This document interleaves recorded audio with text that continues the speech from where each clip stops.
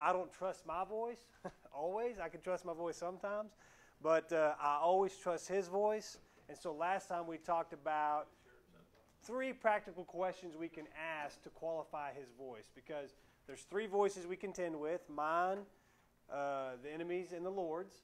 And so I need to make sure that I'm being led by his voice and not something that sounds like his voice. Uh, so the, the, the hearing God, the three questions we taught was, does it line up with Scripture? Does it bear the fruit of the Spirit? And is it, does it create freedom? Where the Spirit of the Lord is, there's freedom. So those are just practical questions whenever we're trying to qualify God's voice that I've that we was teaching on last time. We're not going to spend too much time on that, but it, it's critical to understand that piece because as we go into the anatomy of the stronghold, it's all about hearing God. Uh, the problem with all of us is that we all have belief systems that are either rooted in truth or lies. Truth or lies.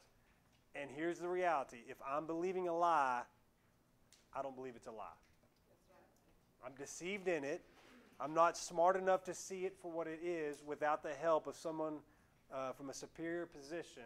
So we need his help to kind of unpack this. That's why hearing God, that's why we did that last time, is if we can qualify his voice and make sure I'm hearing him, now we can step into some real work and say, okay, God, what's going on here, and engage in a conversation with him. So uh, we're passing out these two sheets. Uh, one sheet is just for notes. It's got some scripture reference. We may not get to everything on there, so uh, but most of it's there just to, to, jot some notes down.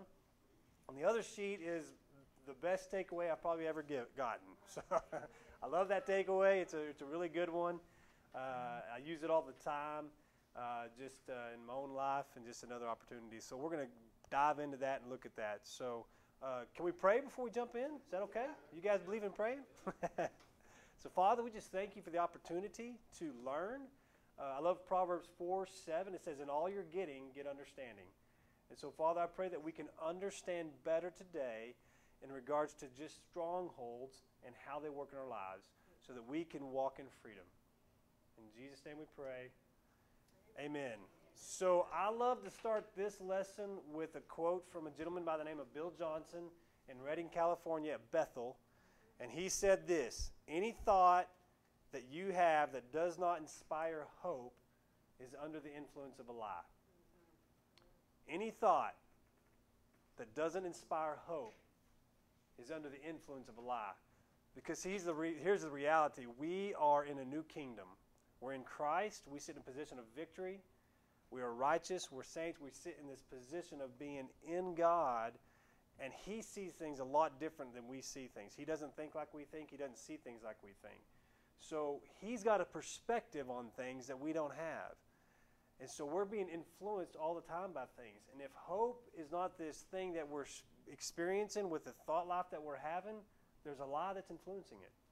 And so we need to go after this stuff. We need to go after these lies that we're probably not even aware they're even there. So I just love that quote to get us started. Our scripture that we're going to use to, to unpack this is 2 Corinthians 10 4 and 5. I'm going to read out the ESV. It says it this way For the weapons of our warfare are not of the flesh, but have divine power to destroy strongholds. All right, so he identifies what, what our weapons are for. They're for strongholds. In the very next verse, he, do, he gives us two things, two elements of the stronghold.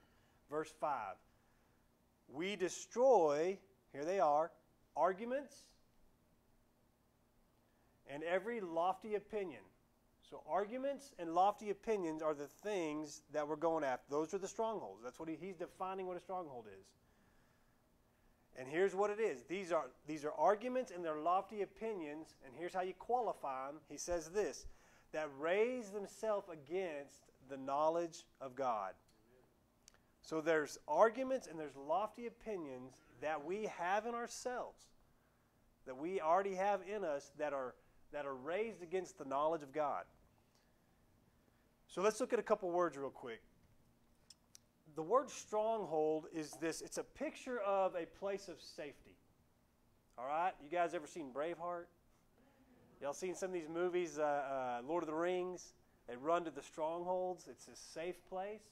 Well, that's what strongholds are. Now, quick question Are strongholds positive or are they negative? both. Scripture actually shows them as both. Uh, Proverbs 10:29 says this: "The ways of the Lord is a stronghold. The ways of the Lord is a stronghold. To the upright, but ruins the workers of iniquity." God's ways, when we have God's ways working in our life, it's strongholds for us. It's a protection for us. It keeps us out of things that are going to hurt us. So God's ways are strongholds. So there's positive strongholds in our lives, but we're going to focus our attention on the negative strongholds. Proverbs 21 22 says this A wise man scales the city of the mighty and brings down the stronghold in which they trust. A wise man, he identifies these strongholds in his life and he says, We're tearing them down. And so that's what we need to be. We need to be wise people that are going about daily the business and saying, you know what? Am I contending with things in my life that are strongholds that need to be come down? They need to come down. Okay? So those are a couple scriptures right quick. Real quick, I love definitions. I love to go back to the Greek and the Hebrew just to make sure that, you know, we lose things sometimes in our English. So there's a couple definitions I want to look at. There's remember there's there's two things that the that he defines as a stronghold in that, uh, where were we at? We're just in 2 Corinthians 10. We destroy arguments and lofty opinions. So let's look at those two definitions real quick. What are arguments and what are lofty opinions? One argument is this a reckoning, a calculation, a consideration, or a reflection. There are things that are calculations by the way you calculate life, the way you, you uh, how does he say, you consider life, the reflections you have in life. There's these things in us that we look at life through, these lenses that we look at life through, that are actually exalting themselves against the knowledge of God. And the other thing he says there are is there's these lofty opinions. By definition, what, he, what that is is something made high or elevated, something that we've elevated higher than God's knowledge. In other words, that there's, there's things that we believe that are um, not lining up with His Word. And here's the reality of that, guys. There's things that we do, even with our understanding of the Word, that are against the knowledge of God. It's not. It's not the. Our problem isn't not the Word that we know. It's how we know the Word. Sometimes how we know the Word is wrong. Anybody ever sat under bad teaching? Or, or anybody ever had bad teaching and then it gets unpacked later? You're like, oh, that guy was wrong. That, that, that was not good teaching.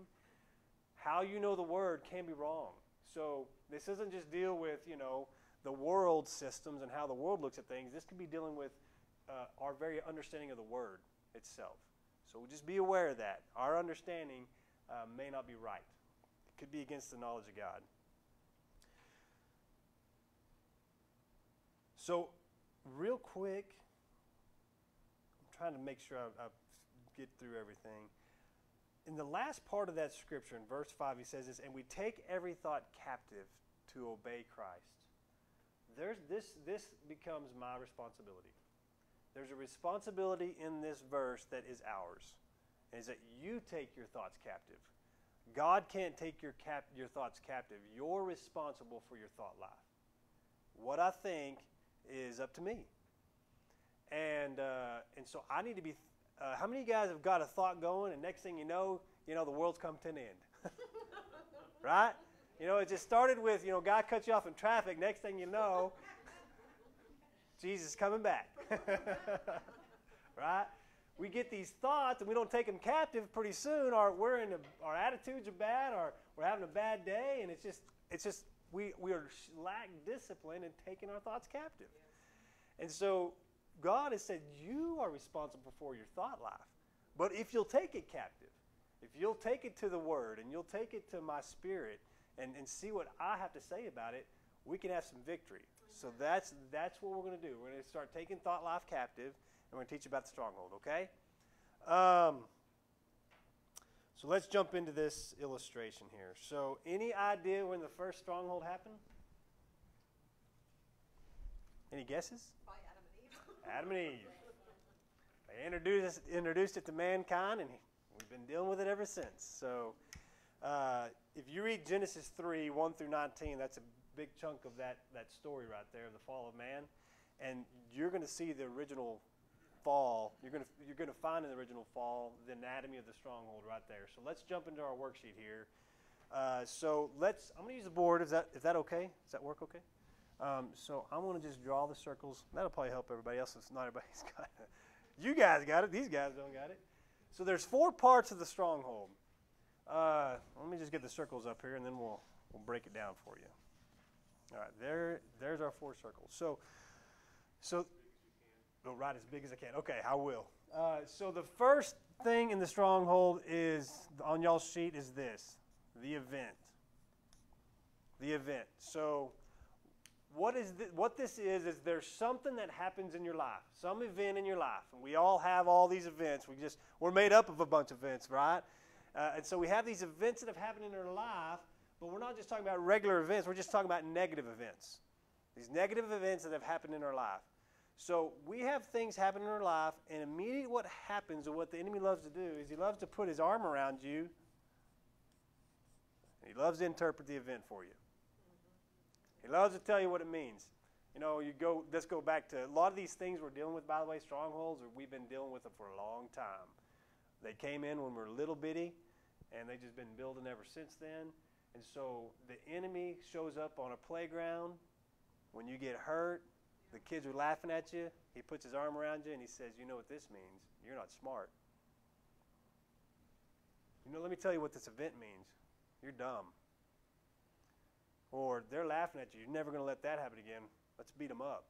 So anger starts taking root. You start finding yourself believing these lies, and here's the deal they look real. Yep. They're real to you. They're real to you. See, what happens is this. Let me get one of those sheets. Oh, can I borrow? I'll, I'll give it back when it's over. I'm sorry. I'll give it back to you. I promise. So here's the deal, and, and so the event leads to the lie, and on our sheet here, a couple things happen: pain and fear. Pain and fear happen. When we have these things happen, these things that hurt us, these negative events, pain and fear become the first thing that happens. So we got this pain and fear happening. The enemy comes in, he wants to tell us what it means, and then we start doing this part the defense. And I'm not a very good speller, and I'm okay with that. I'm secure in my unspellable. the defense or the comfort is another way to say that. So when the lie comes, we start stepping into the role of God and we start defending ourselves. The word says that God is our stronghold, He's our defender. There's all kinds of scriptures that reference Him as this God who wants to come in and protect and put His arms around us and, and, t- and take care of us. But what happens in the anatomy of the stronghold is we start defending ourselves. We start trying to find comfort because of the pain and the fear. And we're going to break this down here in a minute what these, some of these defenses look like. We start defending ourselves. Okay? You guys tracking so far? We good? All right. So then what happens? By the way, by the way that we defend ourselves with anger, and there's all kinds of ways we defend ourselves. When we defend ourselves, other people react to that. Others others react to that to that defense and we get what we want. You know, they hurt me, so I get angry, I raise up, they back down, they react to my anger, and so now, hey, the you know, I'm good. I can defend myself. All's well, right? We got this lie, we're defending ourselves, and here we go.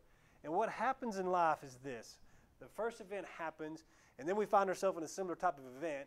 The lie's already there. Start building that wall a little taller, right? Start defending ourselves the same way we can keep because we're getting good responses, or we think they are anyway. People aren't hurting me anymore. The pain, the fear is going away. I feel strong. So here's the thing about anger. Uh, because of pain and fear, you feel weak. So you know what anger does? It makes you feel strong. Anger is this thing that makes you feel strong. So we rise up and we, we think that we're in this safe place. We're building this safety place. And others are responding, and here we go. And over and over again, and we got these patterns in our lives that just keep getting bigger and bigger, and it's just part of who I am. Matter of fact, some people you'll hear them say it. It's just who I am. It's because all they know. And they've been doing this their whole life. A lot of this stuff is just passed on through the line, Yeah. family line. That's how dad did it. That's how granddad did it. And here we go. It's been going on probably since Columbus came over. probably since Adam and Eve. I'm going to go honest with this stuff. But these things are deep rooted in us, and it's just passed on. Some of this stuff is just bloodline curses. But all this stuff gets this anatomy of the stronghold is, is really the foundational understanding of how all these other things we deal with soul ties, unforgiveness, uh, judgments, inner vows, all those type of things. They're all strongholds. You can all look at them through this lens right here. So, so here's the deal: uh, Adam and Eve. Let's go back to the original event. The original event. What happens? The enemy shows up, right? Did God say? Questions the, the, the character of God, questions God's word, speaks a lie, gets her to believe it. She, she responds to the lie. She believes the lie. And then they find themselves in a place where they're, they basically have died because God said, when you eat of it, you'll die. So there's a spiritual death that's happening with them. They're, they're, they're seeing life in a whole different way they've never experienced before. So what do they do? What's their defense? How do they defend themselves? Y'all remember the story? Blame. Blame's one of the things. Ah, it's a woman, God. If you want to get this woman, things will be good. Yeah, God. Hey, God, you gave her to me. And then you got the woman. She's like, that's a snake. and, and so everybody, no one's taking responsibility here. Everybody's pointing the finger at the next guy, pass the buck. And is that not just our world today? I mean, it's the same thing happening over and over again. Blame? Someone, did someone say blame? Well, we said blame. What was the other one someone said? Someone said another one. They covered themselves up, right? They had this shame that they were carrying. They were ashamed. They were ashamed of something God made, and they said, I got to cover this up. And so that's what we're doing right here. This defense thing is what we're doing is we're covering up, we're protecting ourselves, we're trying to, you know, get safe. Right? Defense, strongholds. Strongholds is this place of safety. Even if it feel, even if it's not, it may feel like it is. All right? Uh, what are some other things that we see these guys doing? They hide, they blame, they shame. Did God say? And so pass, here's the reaction. Here's some of the things that happen in this. They pass it all on to everybody else. And we're all born dead, right? That's a whole other lesson, but we're born dead. Jesus came to fix that problem though. So here's I want to I want to break this down real quick. So in these four pieces, got the event, the lie, the defense, or the comfort, uh, and others' reaction. Two of these I can change, and two I cannot. Two I can change, and, and two I cannot. Anybody want to help me out, figure out which two I can change? What can I change? The lie. The lie? And what else? No. Right here. These are the two I can change. I can. Here I'm just going to put it. I can change these two. These two I can change.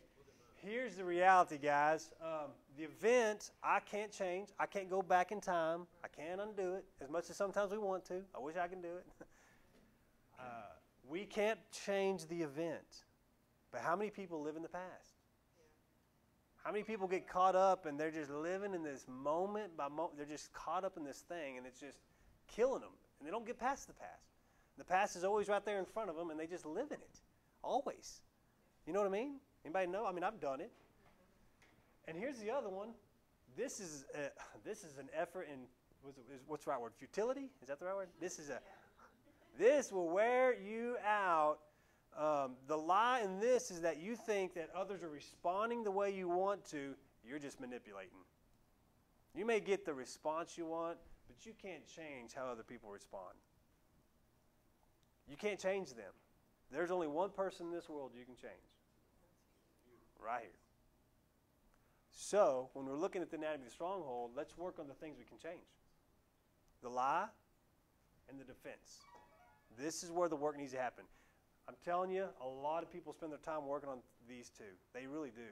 They're so wrapped up in the past, and they're trying to get people to quit hurting them, or they, they feel. They, there's just pain. It's real, real pain. And they're just focusing their energy in, in this place of, it's just wasted energy. So we got to understand that we cannot change the event and the reaction, but we can change the line of defense. Um,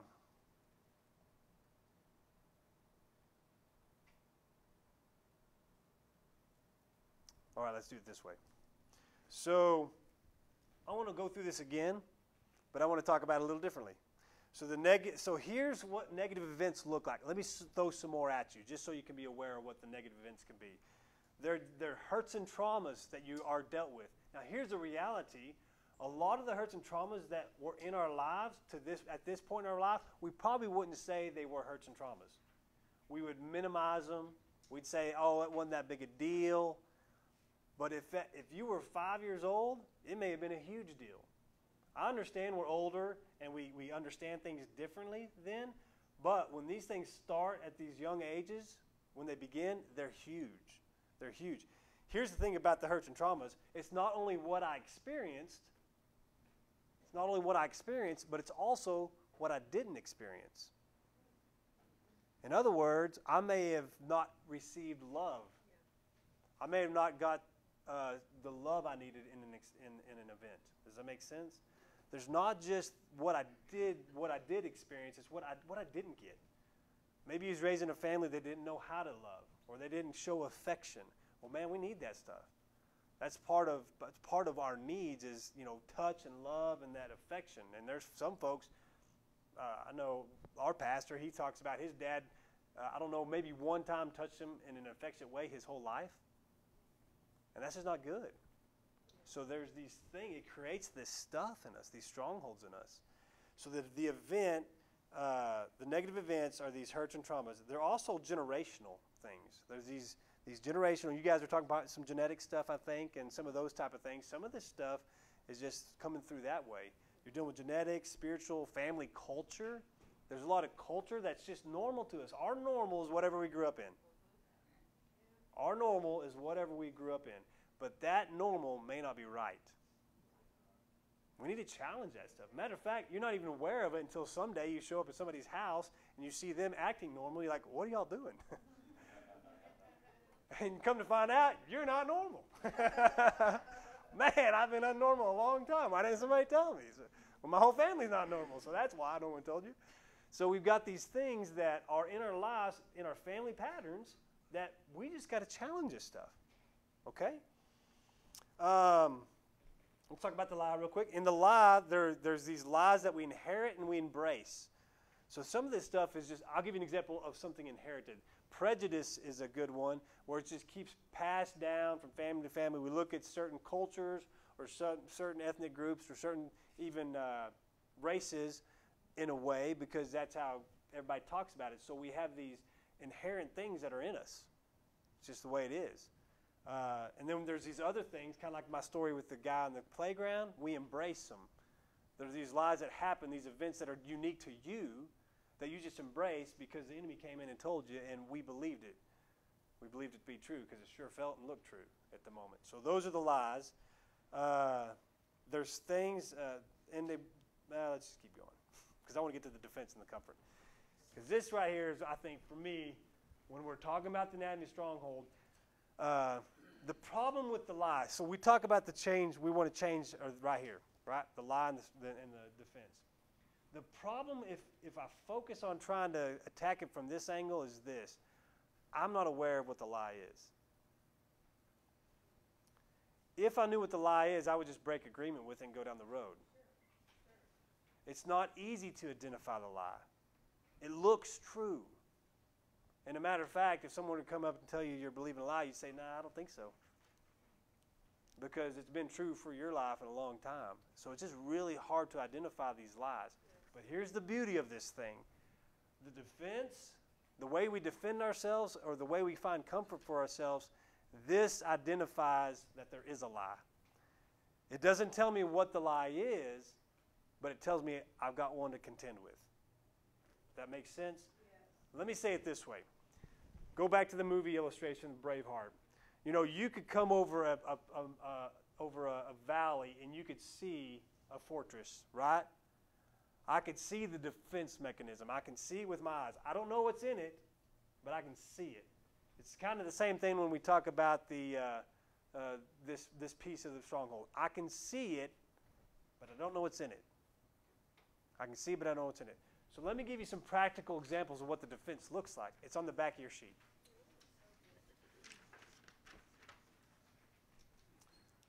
So the defense, just by definition, or I, I love definitions, the defense or the comfort is the tell. Anybody ever play poker? Any poker players in the room? I don't play poker, but I know enough to know that these guys are wearing sunglasses and hats low and all that because, and why do they do that? So they, yeah, so you can't tell. They don't want to give their tell on if they got a good hand or not. Well, guess what the tell is in this thing? Right here. This is the tell. This is telling me something that there's a problem. So the defense is the tell. It lets me know there is a lie that I believe, which is important because I'm not aware of the lie. That's why it's deceiving me in the first place. Let me say this too. The defense is my behavior. The lies are dealing with my beliefs. The defense is my behavior. The lies are what my beliefs. Beliefs are hard to put your fingers on, guys. Thoughts we can put words to. They're, they're in our conscious mind. They're, they're up here in our mind. Beliefs are in our heart. They're subconscious. They're harder to put words to. You know, you know, thinking. You know, you could change your thoughts real easy. Think about this, and then say, well, think about that. And you know, it's really easy to change thoughts. Changing beliefs is harder work, and it's harder to identify. You know, it's just really hard to tell what you believe. You could put words to things, but you know what tells you what you believe? Your behavior. You could say, hey, you know what? My father's good and I love him. I know he's I know I can run to my heavenly father. But if I never do, if I find myself in trouble and I find myself backed in the corner and I always run the other way, I don't really believe that he's a good father. My behavior, I know the thoughts to say. I know the right things to say. I have had knowledge but I don't really believe it. Because if I believed it, I would do it. So my behavior will tell me what I really believe.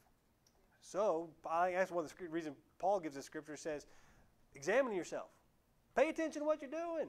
Listen to what you're saying. Watch how you walk. how you walking in life. If you'll do that, it'll let you know, all right, let's look at God's word and listen to his spirit and start working through some of this stuff. So let's look at some of these defenses real quick. So this is not an exhaustive list, but it's a pretty good list to start with. So you guys may have already read some of these, but here's some of the defenses that we can find in ourselves. It's funny when I teach this in, in my class, it's like they all just kind of go, oh my gosh, it's worse than I thought. it is worse than we think. Listen, guys, we, we know how to put on the mask and make, make it look okay. But the, the issue that Christ came to take care of with sin is good. But this continued work that's in us, these things that are in us, it's worse than we think. You know, you know, I think that's one of the reasons Paul gets into his life. He goes, I'm the chief of all sinners. He's like, he's come close enough to God to say, hey, man, I was a total mess and a wreck. But thank, thank be to God that he was willing to work on me. The mess in us, it's, it's bad, but don't take heart. It's okay. We got a Savior and we got a Spirit who wants to walk with us and guide us through it and help us to get better. I would rather know there's a mess than just say, oh, it looks good. It's fine. I'd rather just say, you know what? It is a mess. You know, I'm a mess. But it's okay. God loves this mess, and so I need to love it too, and let's get to work on it. All right, so here's some of the defenses we use acting out or attention seeking. It's a wide range of behaviors designed to seek attention or affirmation. See, the reality of it is this a lot of this was birthed out of, you know, whenever mom and dad are not connected. You know, mom and dad doesn't give that attention whenever, you know, little Johnny's you know, what do they want? They want that affection, that affirmation. Hey, you're doing good, proud of you. And when you don't get that, you're going to grow up bankrupt in this area of your life. And guess what you're going to do? Everywhere you go, you're looking for it. Hey, did I do good? Hey, hey, what's going on? You want that feedback. It's almost like you got to have it because if you don't get it, uh, something's wrong with me. So be aware that this could be a defense mechanism in your life. Be aware. Now, at the end of the day, we always want to ask God about it, but you know, this could be a really good. This behavior can be bad. Anger, we talked about that a minute ago, covering fear and pain with varying levels of aggression, action, and hostility. Varying levels. Anger looks like all kinds of things, guys. It's not just a guy, you know, blowing up and, you know, tearing the house apart. Anger can look like all kinds of things. anger is this thing that we all probably contend with. Anybody know what I'm talking about when it's done with anger? Uh, busyness. This is avoiding pain through excessive activity. Just, you know what? I don't want to face it. I'm just going to get busy. I'm going to get busy. I'm going to go to bed. I'm going to wake up. To get busy again. Uh, blame. Talked about that a little bit. Deflecting responsibility onto others. Nah, it wasn't me. Wasn't me. Control. Taking inappropriate responsibility for others. So now we're stepping into this role as like, well, let me just take over here.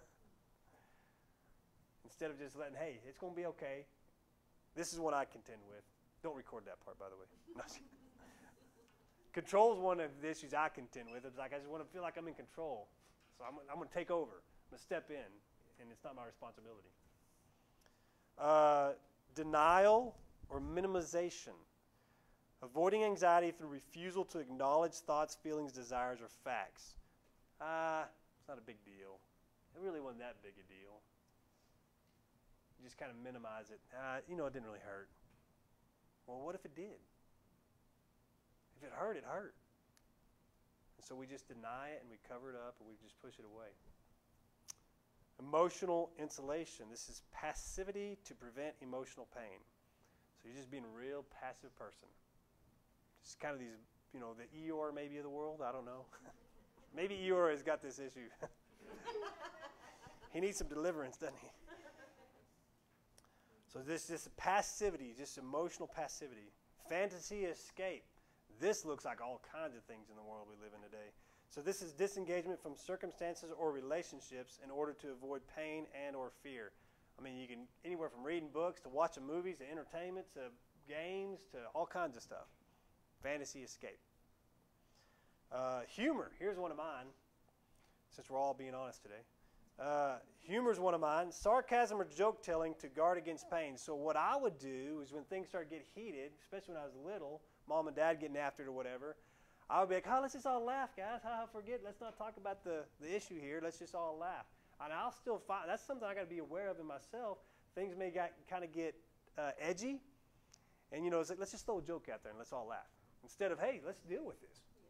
Let's bring it up. Let's talk about it. Let's work through it. Yeah. So one of my defenses is humor. Now, humor's fine, like a lot of this stuff. Anger's good in its right spot, but humor, just to avoid problems, is not.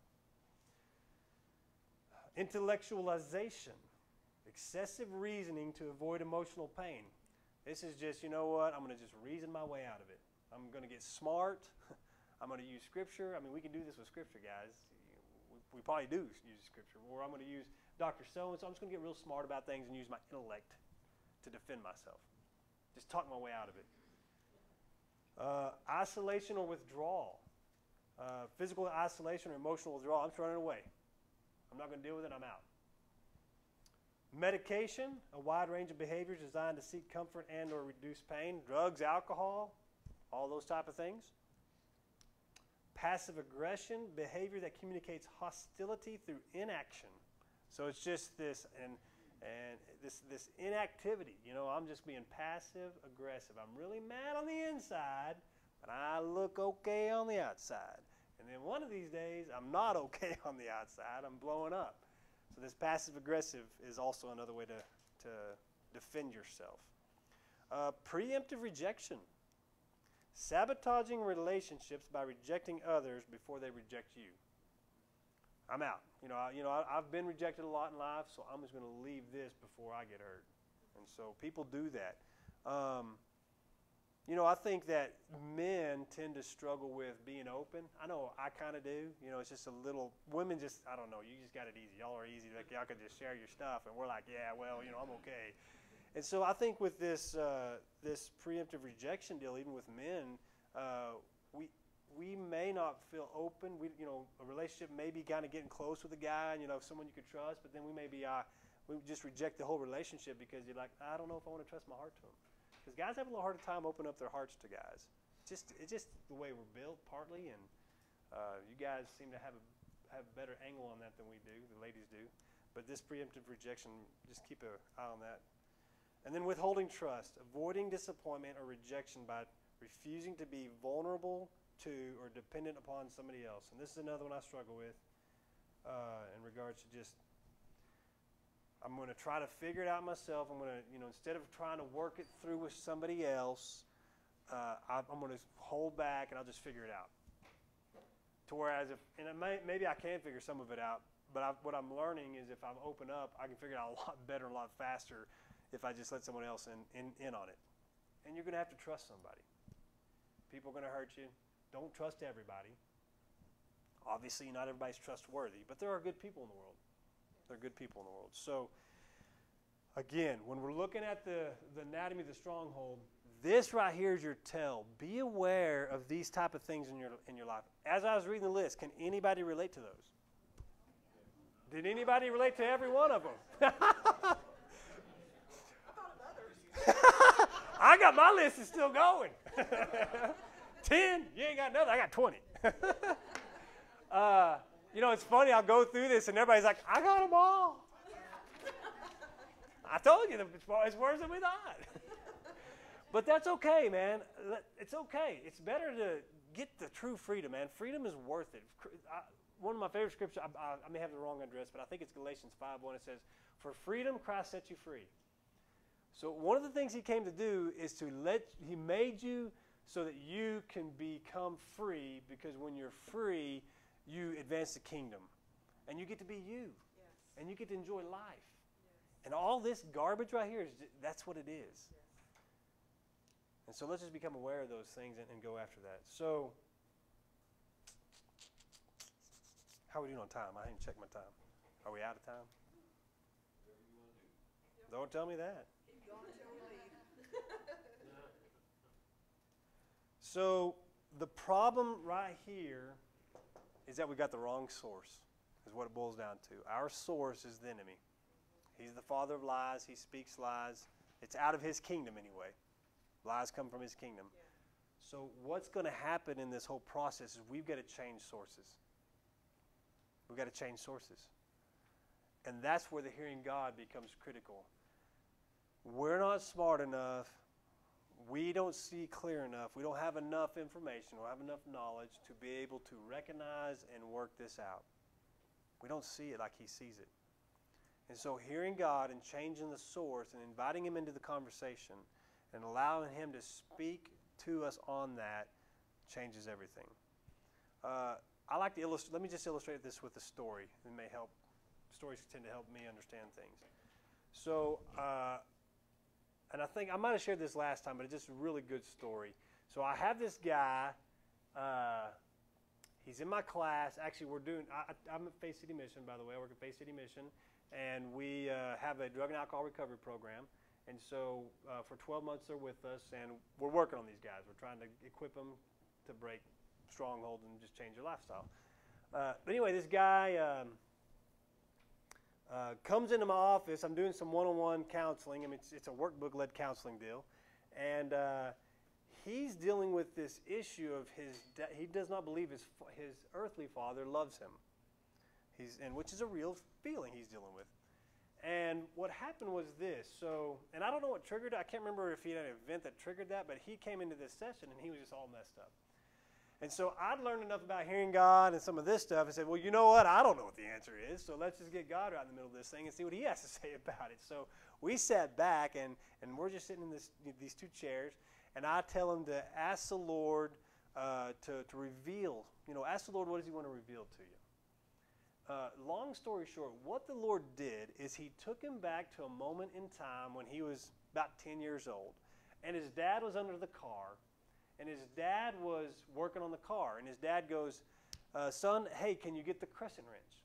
And Bill, he says, I don't even know what a crescent wrench is. So I'm sitting there thinking, oh, this is it. This is where the lie came in. He's going to come out, his dad's going to say something, and we're going to tear down the lie. That's not what happens. of course not. Uh, just where the trickle. You got to be careful. You think we're smart. We think we're smart, and we're not. Uh, what happened was this: he gets out from under the car. He grabs a crescent wrench. He grabs his son. They get under the car. They work on the car together. God was taking him back in time to show him that his dad loved him. I'm not smart enough to listen. I could sit in that session with that guy and say, "Your dad loves you." You know he loves you but he's going to walk out the same that he walked in. Or we can put the creator of the universe in the middle of it and let him take him back to rem- rem- he said hey, i hadn't thought about that in forever god took him back to a moment in time to show him his dad loved him. And he took down a lie that my dad doesn't love me. He changed his source. He let the father say what's the truth? And the stronghold starts coming down. And here we go. My encouragement in this whole thing uh, man there's we could talk a lot about this and unpack this. Uh, but, the, the, but the reality of it this is this work on the things you can change, work in the areas that you can make real impact. Be aware that be aware of the times when you're working in these areas. Become aware of, hey man, I'm just trying to, you know, the past. I'm caught up in the past. I can't change the past. Let's get past that. Doesn't mean it didn't happen, but let's not, you know, can't change it. And then others' reactions. You know, if I'm trying to manipulate or trying to get somebody to respond the way I want to, quit it. Because the real issue is right here. And freedom doesn't come by changing them, freedom comes by changing you. And so let's work on these areas where we see our bad behavior, we're analyzing ourselves, we're watching it, and then we're engaging the Father. And we're having these times with Him, and we're saying, Lord, why do I behave that way? If you guys look at your sheet again, and we'll end with this, there's some simple hearing God directions uh, that can help you with the defense and the lie. Y'all see those, the hearing God piece right there? So, this is just some simple questions that you can ask yourself when you have bad behavior. next time you have bad behavior, maybe make note of it and say, All right, Lord, next time we get together, we need to talk about this.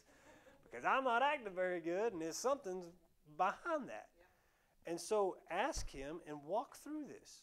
And real quick on confession, the word the word to confess, really, when you're looking at it from the Greek standpoint, is just you're saying the same thing he's saying. You're coming into agreement with him. You're hearing him say something. You say, you know what, you're right. I'm going to say that. I'm going to confess. I'm going to I'm to say the same thing you say. Homologeo. I'm going to say what you say. And then you just go through the process. And then, all right, Lord, what's the lie? Father, there's a defense here. My behavior's wrong. But what's the belief? What's driving this thing? And here we go. All right, let's hear God. God, what's the light I'm believing? And listen for Him. And remember the three questions we taught last time. Does it bear the fruit of the Spirit? Does it line up with Scripture? Uh, do, is it creating freedom? Those type of things. Just keeping that. I like to keep things simple, man. I slow it down. We try to get in a hurry too fast. Slow it down. I mean, if you got a journal and put the questions in front of you, do it. But just bring them out. All right, what's a scripture that I can tie to this? I'm hearing. If I'm hearing God, What's a scripture that I can tie to this? Am I experiencing the fruit of the Spirit? Is there peace? Am I feeling peace? Am I feeling joy? Is there love in the room? Or am I feeling anxiety and anger and fear and all that? Wrong kingdom. And then the last thing is freedom. Be aware. Am I, am I, am I experiencing some freedom here? Do I feel like a, has anybody ever felt like a way to just come off your shoulders? That's a freedom experience. So just be aware of, of that. The freedom scripture is, I can't remember the address, it goes, where the Spirit of the Lord is, there's freedom. There's a lot of areas in our life the Spirit of the Lord is not. These strongholds. We need to break, let Him in, break these down, get freedom, and go forward. So that'll. Oh, no, let me end on this.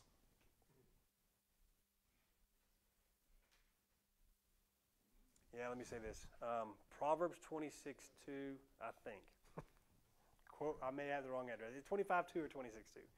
says this. It says, uh, like a flitting sparrow, like a, like a flying swallow, something like that. A curse without cause cannot alight. A curse without cause cannot alight. All right, so in the anatomy of the stronghold, what's the curse? This is the curse. Nope. You're right. The curse. This is the curse. Because the enemy, all he speaks is lies. He's, he speaks curses. He's, he's speaking lies because lies kill, right? Um, what's the cause? Well, uh, sorry, the, the, it's not part of the anatomy. The cause is when I believe it. When I believe a lie, it now has place in me when I don't believe it, when I break, when I start doing the stronghold work, when I break agreement with the lie, when God reveals a lie to me, and I say, "You're right, God, that's a lie. I am smart. I am who you say I am. I'm going to speak what you speak." When you start doing that, guess what? The lie has no power over you anymore. When you start getting simple truths like the word says, I'm the righteousness of God, and you start really believing it, guess what? The enemy can't use against you anymore the lie of condemnation. He hasn't been able to use condemnation on me for a long time. And it's not because I'm better than anybody else, it's because I've got a truth that, hey man, I'm righteous. I'm not fearful that I'm going to get kicked out of heaven. I'm a son. I mess up. I understand that. I'm a mess. We talked about that already. Y'all don't have to tell me. So, and we all are. And so the reality is, I'm, I'm righteous because of Him. So the enemy can't use that lie against me anymore. But as, as long as it's got cause in you, any lie, it's influencing you. And when we break agreement, it no longer has power. All right? Any questions or thoughts or comments or rebuttals? I could give an example No. of how this was worked in my life. Okay.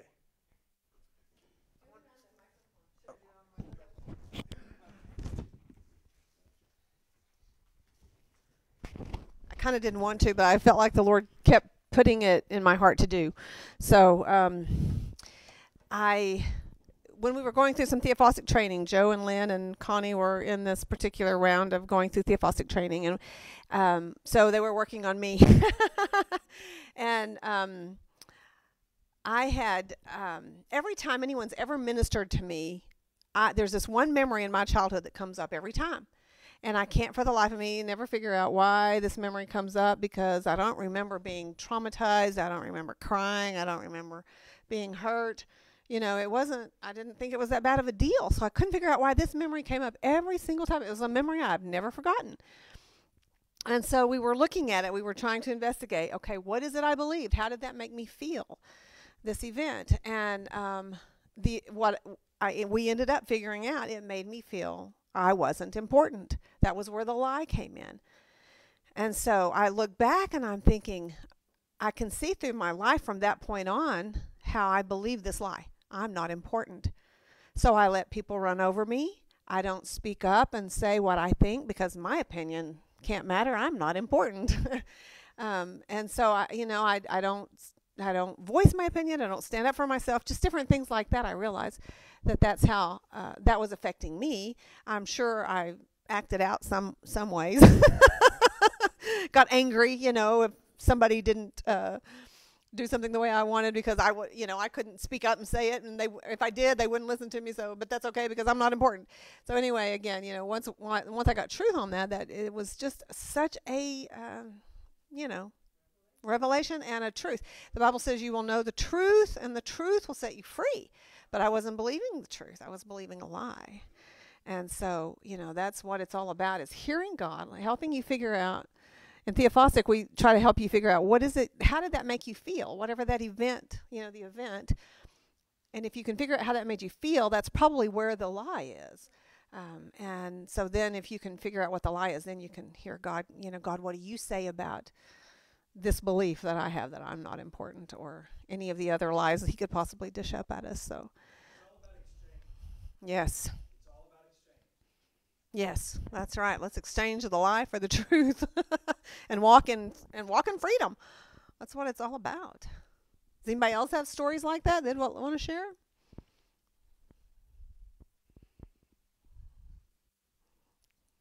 Comments?